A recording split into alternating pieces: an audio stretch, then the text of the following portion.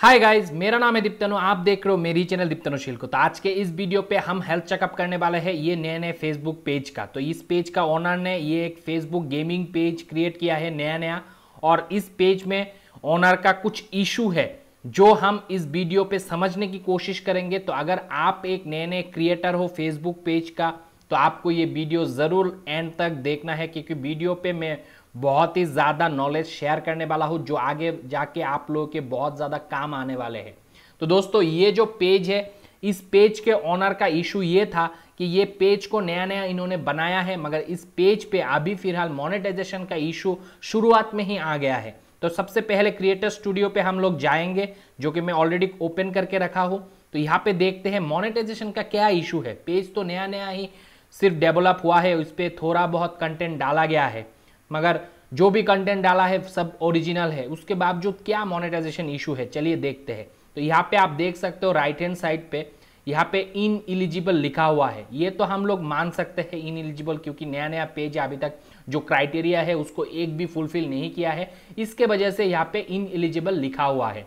मगर दोस्तों, जो लास्ट ऑप्शन रहता है, जो कि पार्टनर मोनेटाइजेशन पॉलिसी कहलाते हैं, उसके हवाले से भी यहाँ पे रेड मार्क है।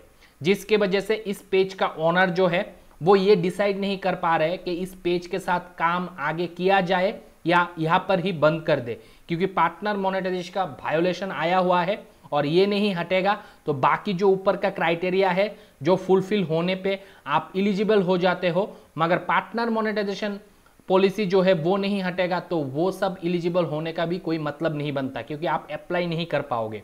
तो यही क्वेश्चन था कि, सर आप ये बताइए कि ये पेज का जो पार्टनर मोनेटाइजेशन पॉलिसी है, वो क्यों रेड हो चुका है? और आगे क्या मैं इस पेज को लेके काम करूँ या ना करूँ? या फिर ये आगे जाके ये पेज मोनेटाइज होगा कि नहीं होगा? और पार्टनर मोनेटाइजेशन पॉलिसी पे क्यों रेड आया हुआ है? मैंने तो ऐसा कोई भी वायोलेशन नहीं किया है पेज पे। तो आइए इसी क्वेश्चन का आंसर हम ढूँढने की कोशिश करते हैं इस वीडियो के दौरान। तो सबसे पहले दोस्तों, हम जाएँगे पॉलिसी इशू पे। जो मैं रेगुलर जाता हूँ। तो पॉलिसी इशू पे क्लिक किया। क्लिक करने के बाद यहाँ पे आपको कोई भी पॉलिसी वायोलेशन किए हैं क्या नहीं किए हैं, ये पता चल जाता है हमको यहाँ से। यहाँ पे लिखा हुआ है रेस्ट्रिक्टेड मोनेटाइजेशन जो कि बेसिकली तो पॉलिसी वायोलेशन करने पे ही आता है। मगर इस पेज पे तो कोई पॉलिसी वायोलेशन किया नहीं है, इस पेज के ओनर बता रहे हैं। मगर फिर भी क्यों रेस्ट्रिक्टेड है मोनेटाइजेशन तो यहाँ पे आप देख सकते हो वायोलेशन नीचे डिटेल में लिखा हुआ है।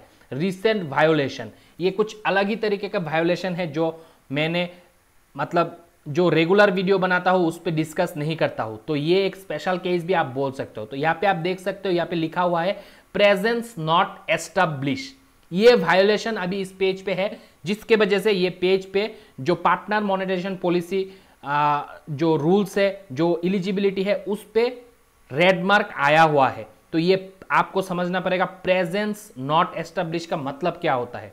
यहाँ पे साफ़ साफ़ लिखा हुआ है, जो गेमिंग चैनल है has been on Facebook for less than thirty days मतलब के ये जो पेज है, वो थर्टी दिन से भी कम समय का ये पेज है। मतलब तीस दिन भी नहीं हुआ है इस पेज का, जो इस पेज को क्रिएट किया गया है, वो तीस दिन भी नहीं हुआ है।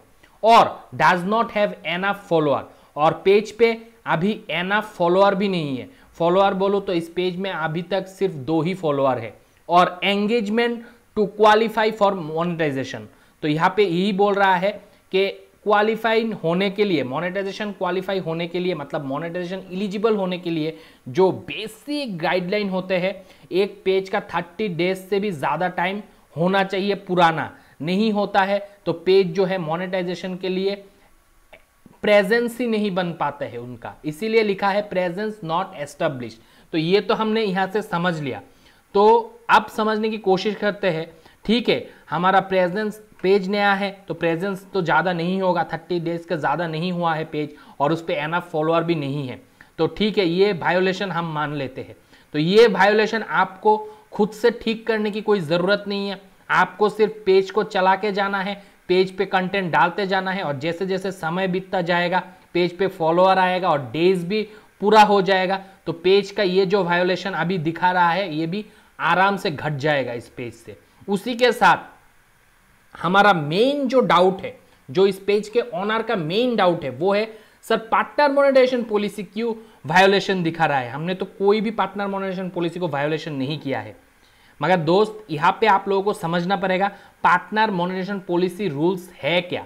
तो इसके लिए हम यहाँ पे जो पार्टनर मोनिटेशन पॉलिसी लिखा हुआ है, इस लिंक पे क्लिक करते हैं। जैसे इस लिंक पे क्लिक करेंगे, एक नया पेज खोल के हम लोगों के सामने आएगा कुछ इस तरीके का, जहाँ पे सारे रूल्स एंड गाइडलाइंस लिखा हुआ है पार्टनर मोनेटाइजेशन पॉलिसी का। तो वहाँ पे जाके ही हम लोग अभी देखेंगे कि इस पेज का इशू जो है, वो जाएगा कि नहीं जाएगा और पार्टनर मोनेटाइजेशन पॉलिसी पे क्यों वायोलेशन आया हुआ है। इसके लिए हमको ये वाला डेवलप एंड एस्टेब्लिश प्रेजेंस इसको ओपन करना है। तो इस पर मैं क्लिक कर दिया। यहाँ पे आप लोग दोस्तों पढ़ना है, इस बात को बारीकी से समझना है, यहाँ पे जो लिखा हुआ है। यहाँ पे साफ़ साफ़ लिखा है creator and publisher must have authentic establish presence on Facebook to be eligible for all monetization feature this means having an establishment presence for at least 90 days यहाँ से आपको पता चल रहा है पार्टनर मोनेटाइजेशन पॉलिसी का क्या है। अगर पार्टनर मोनेटाइजेशन पॉलिसी को ग्रीन करना है, जो कि रेड क्रॉस आ चुका है, वहाँ पे दिखा रहा है पार्टनर मोनेटाइजेशन इलिजिबिलिटी जो है, वो रेड है। वो इसलिए है क्योंकि इस पेज का जो प्रेजेंस है, वो अभी तक एटलीस्ट 90 डेज़ के लिए नहीं हुआ है। 90 दिन के लिए अभी तक पेज का प्रेजेंस नहीं हुआ है क्योंकि पेज नया नया बनाया गया है। अभी तक तो एक महीने नहीं हुआ है 90 डेज़ तो अभी दूर की बात है।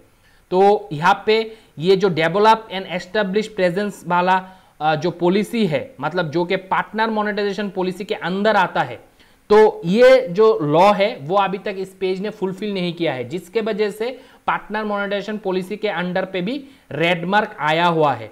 तो यहाँ पे लिखा है to gain access in stream ad मतलब जो हमारे पेज पे एड आएगा, जिसके लिए हम अप्लाई कर सकते हैं अपील कर सकते हैं this also include maintaining a sufficient follower base उसी के साथ आपको सफिशियंट फॉलोअर बेस भी चाहिए indicated by Facebook friends and follower मतलब वो फॉलोअर होगा आपके फेसबुक का फ्रेंड्स एंड फॉलोअर जो भी होते हैं आपके पेज पे।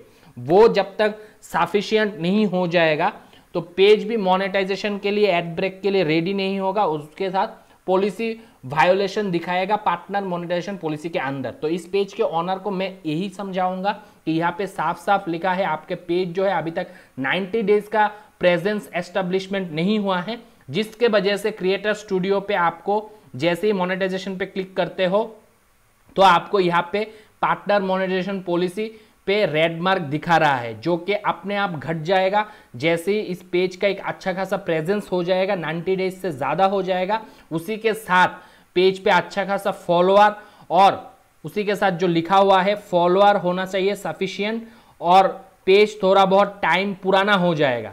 तो यहाँ से हमको ये मालूम पड़ गया है, यही पार्टनर पॉलिटिक्स वायोलेशन इस पेज पे हुआ है, जो कि आप ना करते हुए भी जो इनिशियल पे पेज खोलता है, उन लोगों का आएगा।